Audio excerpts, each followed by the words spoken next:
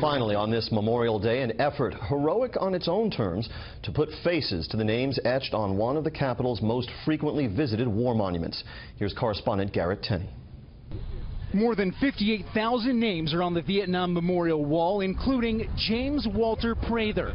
But to his four sisters, Private James Prather is much more than just a name. He was a do-gooder. James was a very uh, spiritual person. Even though he was young, he would laugh at anything. He always treated me with affection. He was a football star. He loved chocolate cake, and his most prized possession was his 1957 Chevrolet. Those kinds of things that make a person who he is, you can't know from a name on a wall.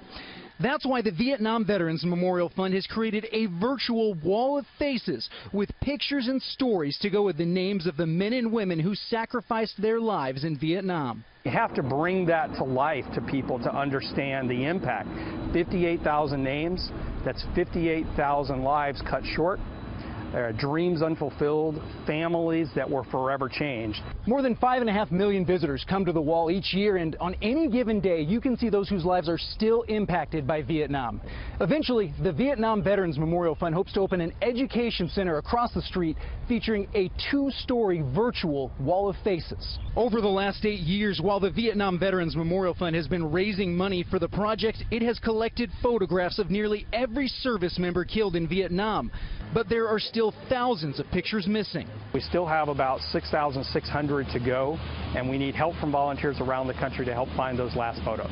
For the Prather sisters, there's no better way to honor those who gave the ultimate sacrifice than ensuring they're remembered as more than just a name. That was my brother. You want to tell someone.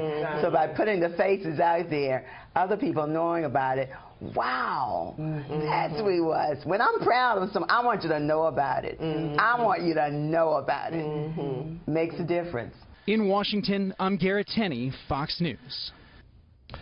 Thank you for spending part of your Memorial Day with us this evening. Amid the bargain sales, cookouts, and family gatherings, let's take a moment to remember all those men and women who gave their lives in defense of this country.